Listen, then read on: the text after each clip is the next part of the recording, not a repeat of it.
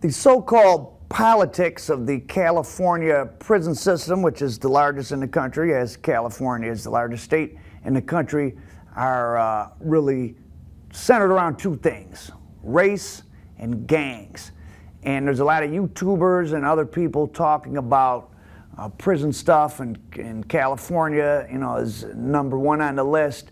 And I thought this would be, I thought it would be good to give a uh, kind of a more uh, accurate and general overview of the situation. So let's begin at the beginning and with black and white, Aryan Brotherhood and the Black Guerrilla family.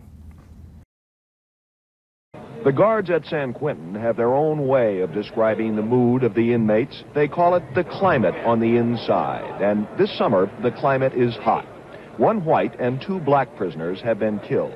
14 inmates have been stabbed.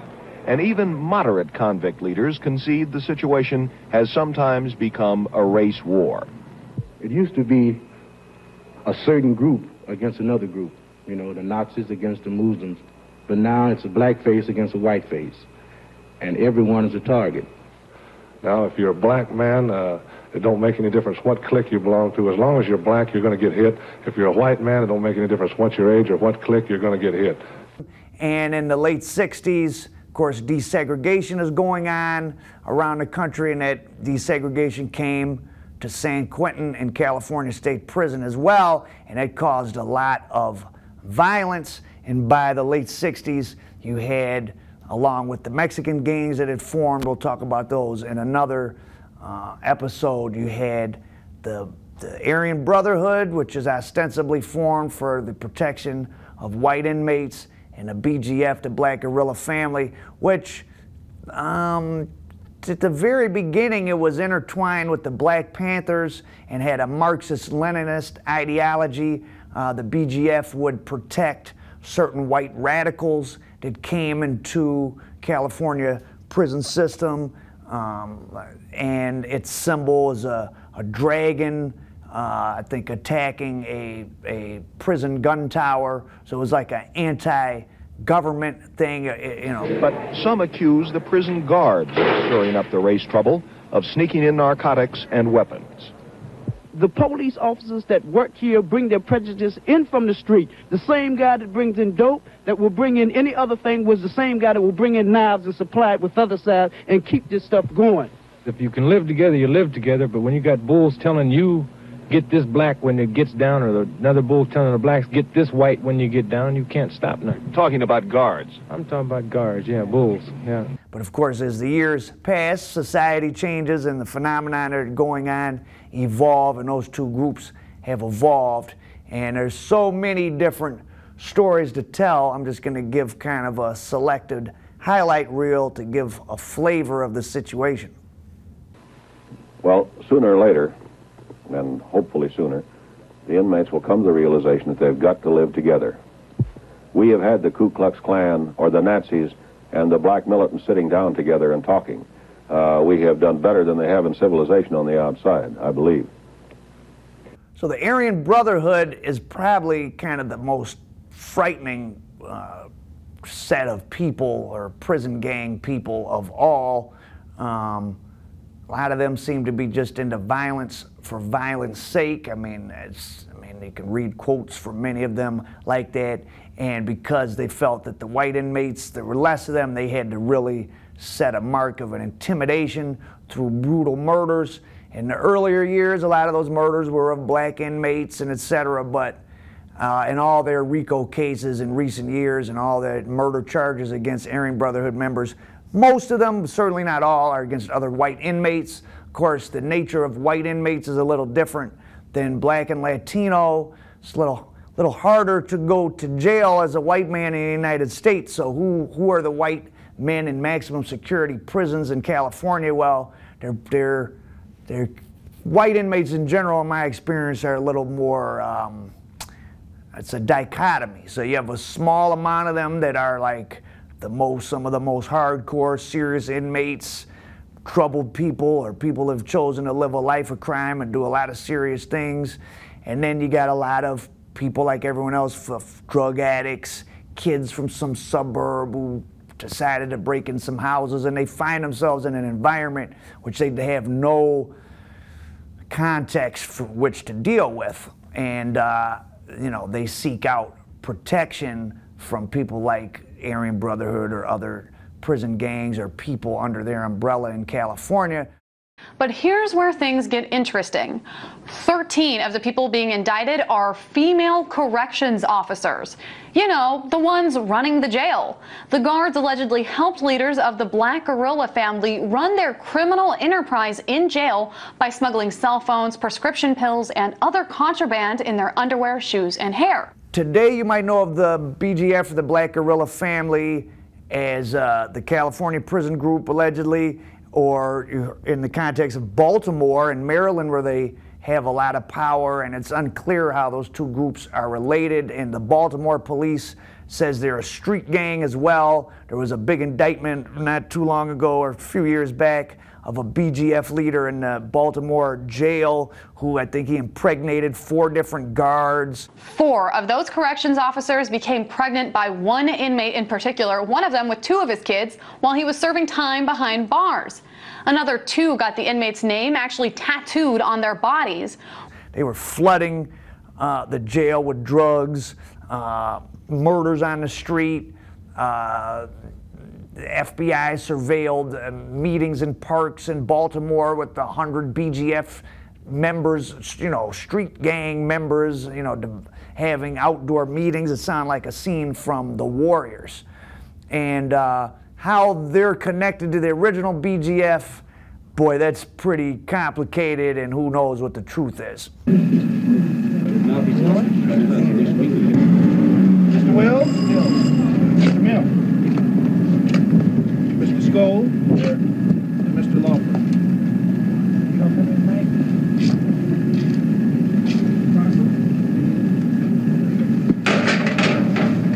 Now, the BGF was formed uh, by George Jackson and a few others in the late 60s in San Quentin, and it was very political. While in prison as a young guy, George Jackson was appointed uh, field marshal by the Oakland chapter of the Black Panther Party and was tasked with recruiting prisoners into the Black Panther Party. Communist ideology heavily informed the early BGF. I met Marx, Lenin, Trotsky, Engels, and Mao while in prison, George Jackson said, and they redeemed me. As a quick aside, there's also the issue of prison guards, and it's it's always said that, uh, or I've heard it said many times that like the white inmates, especially the Aryan Brotherhood, or where, or even in the state of Michigan where I'm from, if you're in a place where there's a lot of white guards and not a lot of white inmates, it's said that the white guards will help the white inmates smuggle in weapons and other things. And one of the big incidents in the late 60s at San Quentin is tied in with this. There was a day where something like 14 black inmates and two or three white inmates were put out on the exercise yard and started fighting, and a white prison guard shot and killed three of the black inmates. So then a couple days later, a white prison guard was thrown off a tier at San Quentin to his death and the people charged with the case, whose names were George Jackson, Fleeta Drumgo, and John Clutchette.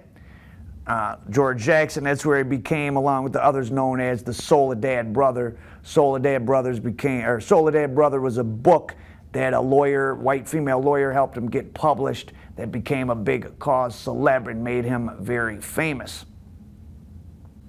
So George Jackson was uh, uh, ready to get out of prison by any means necessary, and his family was ready to get him out of prison by any means necessary. And, you, and let me set the scene of what's going on here in this 1969, 70, 70, 71. The National Guard is gunning down white students at Kent State. Black Panthers and other black militant groups are, are shooting white police and killing them in the streets and sometimes going to court and getting acquitted things like COINTELPRO, the Chicago Police Department, executing uh, the young leader of the Chicago Black Panther Party, which there's a movie out about now. And uh, so it was a very violent atmosphere, people killing police, getting away with it, police killing people and getting away with it. And uh, so here we have at San Quentin. Uh, this violence is now in this prison atmosphere and it's getting pretty intense. And George Jackson and his two cohorts that are uh, alleged to have thrown the white prison guard off the tier at San Quentin, they're charged with murder. And George Jackson had a 17 year old brother on the outs named Jonathan. I think I would be the first to know if it's, there was. I'm saying that there was no conspiracy, that Jonathan, a 17 year old man child, was working according to the dictates of his own mind. Jonathan with a gun registered to radical activist uh, black female professor Angela Davis. The gun was registered to Angela Davis. He storms the Marin County courthouse. Marin County is uh, one of the richest counties in America now. It's up in the Bay Area. It's where San Quentin is. He storms the Marin County courthouse. He grabs a judge, tries to kidnap him. He's going to try to force I guess them to release his brother in exchange for the judge. There's a shootout. Uh, he's killed. Uh, George Jackson's brother is killed. Uh, uh, then I think there's a guard killed. There's some prisoners that were in the courtroom killed. Crazy, crazy scene. So that's 1971. Fast forward to 1972. There's this ongoing race war between the BGF and uh, it, well, it's not really between a BGF and Aryan Brotherhood. It's white people and black people in California prisons are killing each other. There's also stuff going on with the Hispanic inmates. So prior to uh, George Jackson's brother Jonathan being killed in the courthouse attempted kidnapping and shootout, uh, uh, Jackson was already a celebrity from the publishing of his book, Soledad Brother Letters from Prison. And this book had been kind of um, arranged and edited by his lawyer at the time, Faye Stender, a white female uh, lawyer. She had gotten the French philosopher who was really famous at the time, Jean Genet, to write a foreword, and this book sold hundreds of thousands of copies. So the funds went to his legal defense and uh, other um, people in custody. But Faye Stender then removed herself as his lawyer because she claimed George Jackson was pressuring her to bring a gun to prison in her in her briefcase because lawyers aren't subject to the same sorts of of getting checked as uh, as other people. And I remember I was in jail somewhere, and uh, a guy always was high on heroin, and he was a sort of a celebrity. And you know, I found out his lawyer was bringing him heroin all of his legal visits so he could spend his whole time in the county jail because he had a bad case, just high on heroin. So lawyers do do that kind of stuff. So Faye Stender removed herself from the case.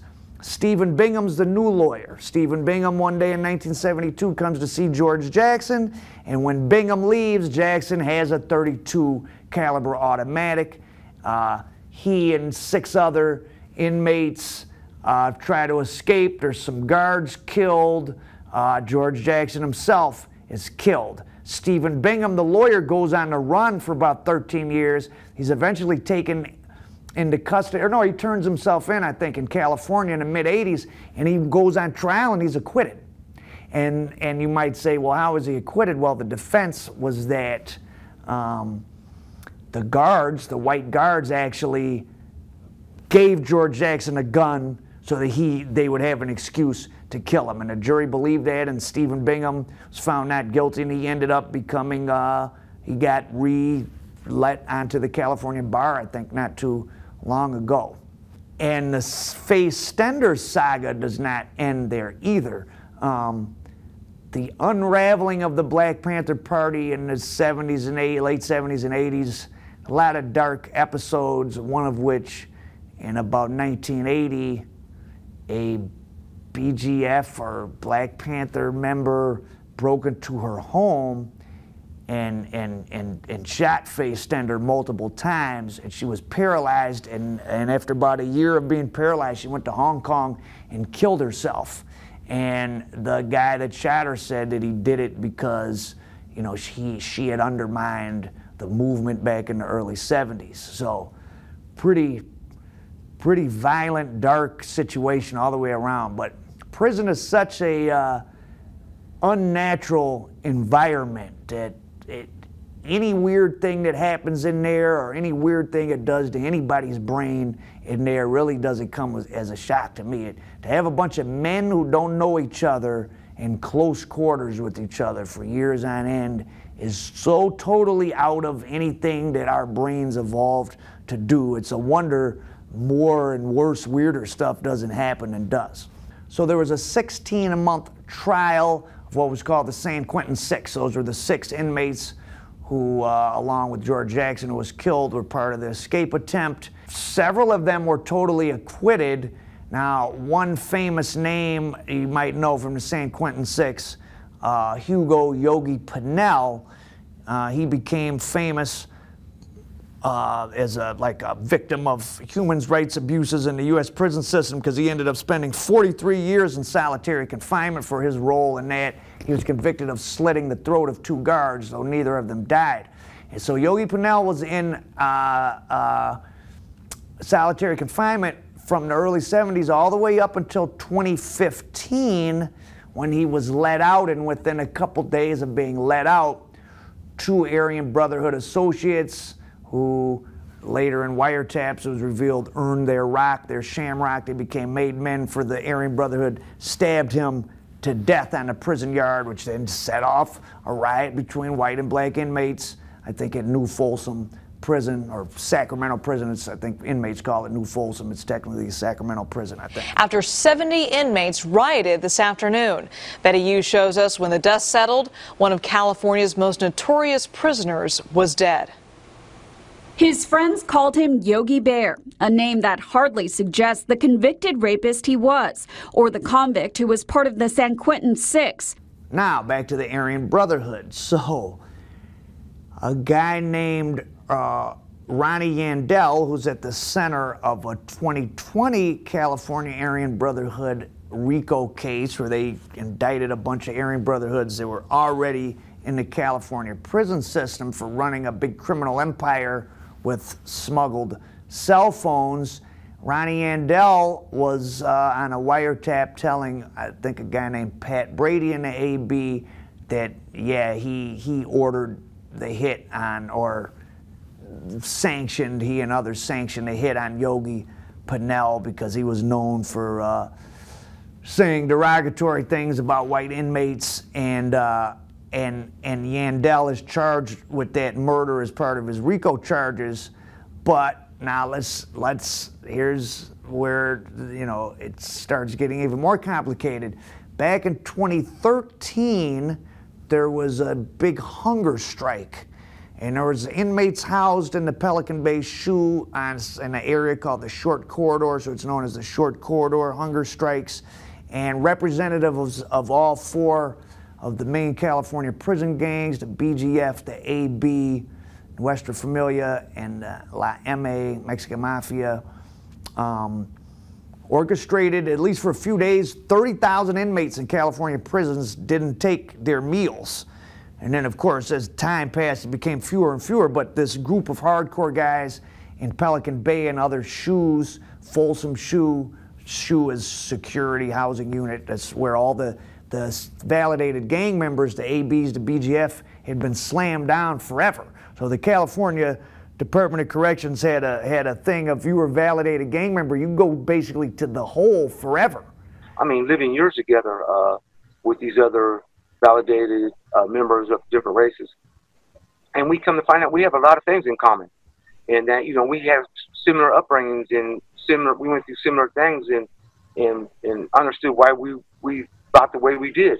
And a lot of it was that we were manipulated that uh, by older people that you know that you uh, look up you looked up to for one reason or another. And um, so the hunger strike was all the different uh, gangs and racial groups coming together to say, well, that's a human rights violation. You can't put a guy in a hole for 20 years and they barely have any human contact. So Ronnie Yandell was one of the leaders of this on the white side, the Aryan Brotherhood side, and it resulted in, um, well, there was an Aryan Brotherhood named Todd Ashker who wrote a federal um, complaint that actually won, and and they had they had to end it. And so a lot of these guys, the gang leaders, got put back out into some form of the general population, or at least a little more access. And uh, I mean, they didn't go to low security or anything, but they weren't now slammed totally down where the only other people they were interacting with were the other gang leaders. Like in Pelican Bay, every cell is, you know, serious people from each of the groups. And Ronnie Yandell then ended up getting indicted in 2020 along with others for uh, reasserting the Aryan Brotherhood's dominance over the white uh, population in the California prisons. They were they had a big meth ring. It generated a lot of money. I was just listening to a story on a great YouTube channel called Stories by a Current Prisoner. And there's a guy named uh, Powder. I think he was in Public Enemy Number One, Peni, a white street gang that became a prison gang that did the Aryan Brotherhood's bidding. And he was talking about being at a prison where an Aryan Brotherhood named Travis Burhop, who's part of this indictment for these exact charges, was had some Hispanic workers that that like were um, they weren't guards, but they like worked in the kitchen. And Travis Burhop's mother had married a Mexican, someone with the cartel connections, and he was giving kilos of Mexican mud heroin to these uh, Hispanic kitchen workers, and they were bringing it in for the Aryan Brotherhood. So there were kilos and of, of, of heroin and pounds and pounds of meth being brought into this one prison. Huge drug ring, and it's part of the indictment as well. And uh, uh, Yandell and others ordered a bunch of murders uh, of other of whites and attacks on whites uh, that were in. There were four white prison gangs: the USAS, United Society of Aryan Skins, or something, Golden State Skins, the Wolf Pack, and maybe something else that were trying to usurp the authority of the Aryan Brotherhood and the Nazi lowriders, and um, and and Public Enemy Number One, who was kind of handling the Aryan Brotherhood's business on the main lines. So go check out stories from a current prisoner. Lots of current prisoners calling in. They seem to be mostly from the quote unquote special needs yards because they're gang dropouts, but they're the people that would know. A lot of them are doing all day or close to all day, uh, Hispanic, white, black, and they're telling you the inside scoop, at least from their perspective. And always remember with criminal things, there might not really be a truth because everyone has to withhold things or make themselves sound a certain way, but in society, you have drama, you have politics, you have uh, uh, crime, you have uh, uh across the board. Prison system is a microcosm of that.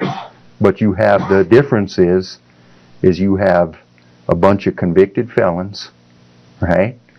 Who, mo- a majority of which are come from the working class poor communities, had a hard life, um, probably involved in drugs, now, the BGF and the uh, Aryan Brotherhood were born in California prisons, but there, there's federal branches of them as well, and, and there's also branches in different states. But the federal branches are separate but connected. Some of the same people that were there when those groups were started in California are now in the federal um, versions of them.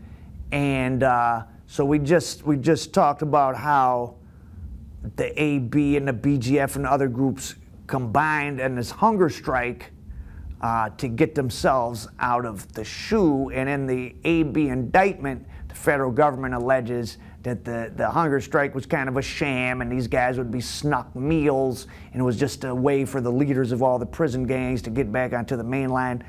I don't believe that. I mean, you know, it is legitimately human rights abuse to be put in uh, in isolation for that long. But you know, people's motivations are complicated, and apparently, when some of them got out, they did get back busy with criminal activities. But their RICO case is still ongoing, so it's all alleged at this point against the AB as far as these new charges. Now, on the federal side, back in 06, there was a massive, I think it was the biggest, oh, they always say everything's the biggest, but this, it was like one of the, it was the biggest death penalty RICO case ever in U.S. history, and it was against a federal Aryan Brotherhood, primarily in, in, led by uh, Tyler Super Honky Bingham, who could bench press 500 pounds at the age of 60, and Barry the Baron Mills, the half Jewish uh, Aryan Brotherhood federal co-leader, and um, uh, one of the two of the murder charges in that case were of two black guys from Washington D.C. who they refer to as the D.C. Blacks in Lewisburg Federal Prison, and James Doc Holliday, who's a BG federal BGF high up, he actually got on the witness stand on behalf of the Aryan Brotherhood to, to state that at Lewisburg there were only 10 or less Aryan Brotherhoods and that they were so outnumbered by the DC blacks who there's DC blacks are black inmates from DC which has it's not a state so there's no state prison. So they're the single largest kind of geographic and ethnic group in the federal prison system and lots of people have bad things to say about them but that's probably just because they're the they're often the dominant group in any prison because there's so many of them. And so that the BGF and the DC blacks apparently don't get along in, in the federal prison system. And Doc Holliday testified that if the Aryan Brotherhood did kill some DC blacks, it would have only been in defense, and that the Aryan Brotherhood tried to diffuse, tried to diffuse uh, racial problems in Lewisburg because they knew the serious repercussions of any sort of race war. So, so, so you have a BGF guy kind of acting as almost like a character witness for Aryan Brotherhood in this case back then. But now Doc Holliday is a guy who, when he was in California State Prison, he what did I? I think he got stabbed by the Aryan Brotherhood, and he stabbed out the eye of some other Aryan Brotherhood. So you know, he, he was no friend to the Aryan Brotherhood, but, you know, it's pretty complicated in there. And um, Doc Holliday uh, hails, I don't know if he's from there, but his cases were out of Pacoima. And Pacoima, if you ever wondered where uh, rap manager Wack 100, who's a Piru, well, he's a Pacoima Park Piru, I think. And Pacoima's this little enclave of black population that's been a black area since I think the 40s, way, way out in the valley at the edge, northern edge of Los Angeles. And Doc Holliday's and some of the BGF street cases uh, for drugs and murder from the 70s and 80s were out of Pacoima, including a quadruple homicide. And one of the cases, uh, Doc Holliday, Doc Holliday was in this big case with the guy Ray Ray Browning in the late 80s. And Ray Ray Browning had been charged in the late 70s with killing two people in Pacoima on behalf of Doc Holliday, but then the witness statement was thrown out because the witness only said he saw Doc Holliday after he'd been hypnotized by the state's psychiatrist. All pretty bizarre stuff. And Doc Holliday's been in prison along with Ray Ray Browning since the late 80s uh, for this big drug case. Uh, uh, Big James, who I interviewed, my friend Jay Joker's cousin, uh, was in the Ray Ray Browning case. He mentions it. Brew, he doesn't really talk about the case. He just said he was one of the people indicted, and he did 20 some years on that case. You can check out uh, some of his interviews. I'll put the links below. Um, so right now there's an ongoing RICO case against California Aryan Brotherhood. Um, I the BGF mm, kind of keeps a lower profile, it seems like. I don't know how active or what's going on with them, um, but maybe I'll be able to get somebody to shed some light on that soon. But both of these groups, I mean, this is a long, big, big history. In some ways, parallel what's going on out in society. Maybe in the past they did. Now it's pretty it's like prison. So many people in America have been to prison and are in prison that it's like its own world, but that world is now spilling out into the regular world. And and it maybe kind of happened in California first, where you had, you know, because when I was in jail in Arizona, I, I just the whole racial division and all that, it just so artificial. And then I realized that, well, it's useful to the prison administration because, of course, if inmates are fighting each other, they can't go after the administration.